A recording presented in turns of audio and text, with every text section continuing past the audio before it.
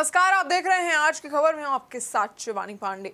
आतंकवादियों के खिलाफ लड़ाई में भारत को बड़ी कामयाबी हाथ लगी है। म्यांमार ने एनएसए अजीत डोभाल की निगरानी में गुप्त अभियान के तहत 22 उग्रवादियों को भारत को सौंप दिया है। इस अभियान के साथ ही पहली बार बैकडोर डिप्लोमेसी ने परिणाम दिखाए हैं। इन उग्रवादियों को भारत को सौंपते हुए म्यांमार ने साफ़ कर दिया है कि आतंक के खिलाफ लड़ाई में म्यांमार भारत के साथ है। सभी उग्रवादियों को एक विशेष उड़ान द्वारा भारत वापस लाया गया है।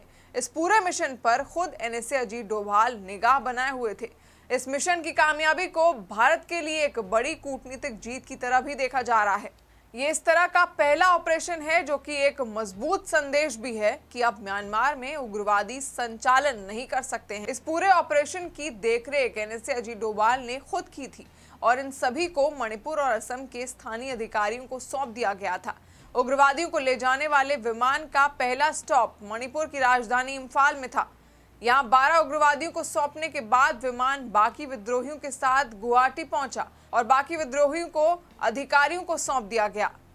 पिछले साल ही जनवरी में म्यांमार की सेना ने भारत के पूर्वोत्तर के उग्रवादियों के खिलाफ कई ऑपरेशन किए थे। उनमें से कई को पकड़ लिया गया था। कुछ को जेल भी हुई एनएसए डोभाल पिछले एक साल से उग्रवादियों को खदेड़ने के लिए म्यांमार के सैन्य कमांडर इन चीफ मिनोंग लिंग के साथ काम कर रहे हैं।